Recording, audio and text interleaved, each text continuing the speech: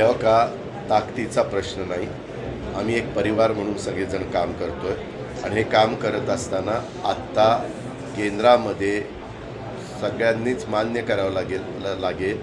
नरेंद्र मोदी साहेबांचं करिश्मा असणारं नेतृत्व त्यांच्याशिवाय दुसरं नेतृत्व आज आपल्याला कुठंही आपल्या देशात पाहायला मिळत नाही.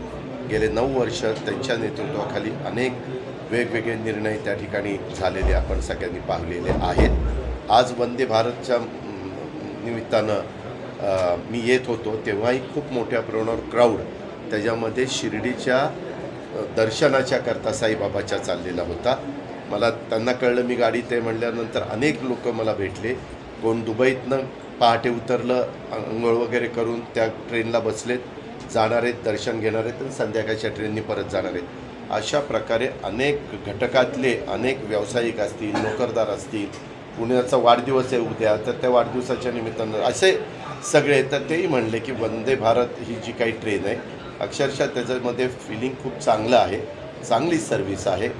सा थोडंसं इकॉनॉमी क्लास विमानामध्ये जशी व्यवस्था असते त्याच्यापेक्षा चांगली व्यवस्था आहे. अशा सुविधा आपण लोकांना दिल्या पाहिजे. लोकांना बाकीच्या ज्या काही मूलभूत गरजा असतील त्या गरजा पुरवण्याचं काम केंद्र सरकारने राज्य सरकारने करायचं असतं.